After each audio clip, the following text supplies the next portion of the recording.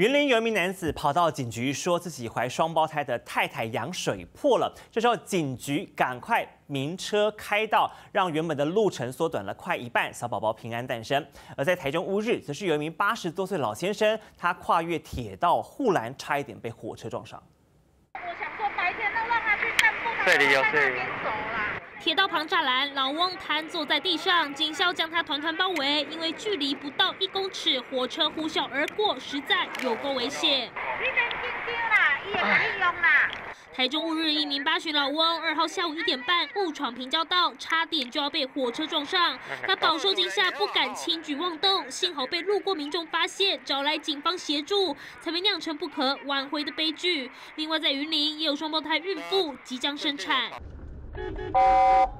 警方在马路上高速奔驰，直接跨越双黄线，想办法开得快一点，最后直接鸣笛。事情发生在上个月二十七号，监视器拍下有男子冲进警局，说太太快要生产，怕路途车多，希望破力士大人帮忙开道。民警立即开启警示灯，鸣放警鸣器，并通报一九救护车待命，顺利产下新生儿。原本车程半个小时的云林虎尾弱色医院，最后只花十八分钟就平安抵达。家属非常感谢，说距离预产期还有一周，没想到提前落红，幸好最后两个小生命平安诞生。记者台中雨林综合报道。